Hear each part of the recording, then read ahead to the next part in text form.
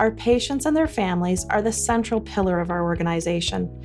The Erie St. Clair CCAC has adopted the patient and family centered care framework, and over the last year, we've made tremendous strides in ensuring that our patients are not only receiving high quality, safe, and consistent health care, we're collaborating with them and we're making sure that they're involved in their care.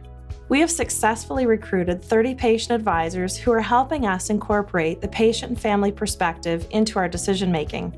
This includes having patient advisors sit on every council, committee, and working group that we have, taking part in the hiring process by completing telephone screening with candidates, as well as attending in person interviews. The patient advisors also speak with new staff during our orientation sessions. Patient advisors will look at the different aspects of what CCAC does and try and make them better and more related to what the patient's needs are. We're also helping CCAC communicate with patients who have special accessibility needs. We're working towards having all materials available in a variety of formats upon request. We are working more diligently than ever in helping patients with their questions or concerns.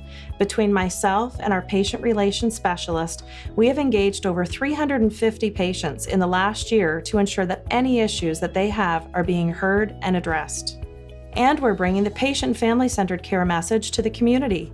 We've attended more than 50 public events and speaking engagements to ensure that as many people as possible understand that our patient centered focus and services are available through our CCAC.